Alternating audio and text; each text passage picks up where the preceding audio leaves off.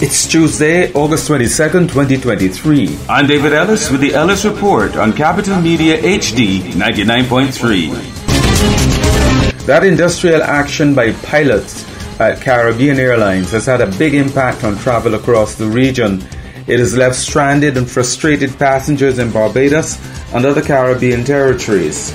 Some 93 of the airline's pilots called in sick on Sunday, and though the industrial court ordered them back to work yesterday, passengers continue to face inconvenience.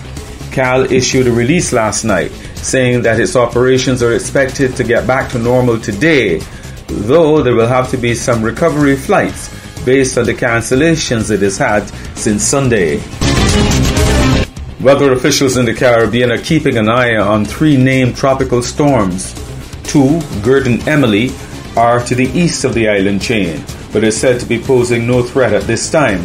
However, Tropical Storm Franklin is strengthening over the central Caribbean Sea.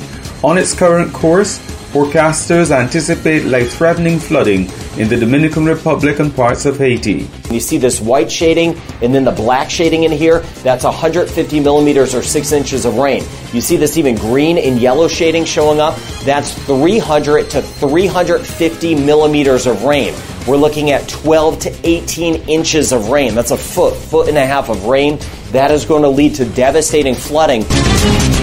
The first tropical storm to hit Southern California in over 80 years has been dissipating after record breaking rainfall. The storm is now moving on to Nevada.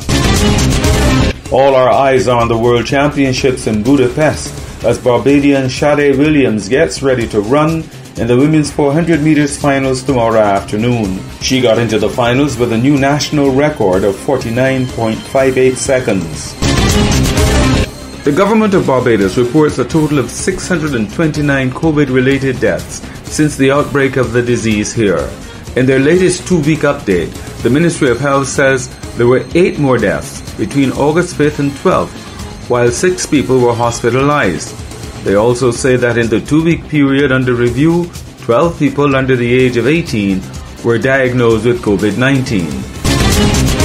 The police in St. Vincent have announced a $50,000 EC reward for information leading to the arrest and conviction of those involved in the July mass killings there. Five males, including a 13 year old boy, were killed at the time. Scientists in Britain say that MRI scans could detect prostate cancer in men far more accurately than blood tests. A new study involving more than 300 men aged between 50 and 75 revealed that MRI scans picked up some serious cancers that would have been missed by blood tests alone.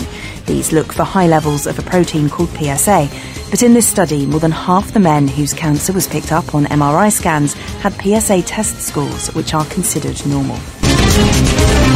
The weather forecast for today calls for a mix of sunshine and clouds with a few brief scattered light showers. I'm David Ellis with the Ellis Report on Capital Media HD 99.3.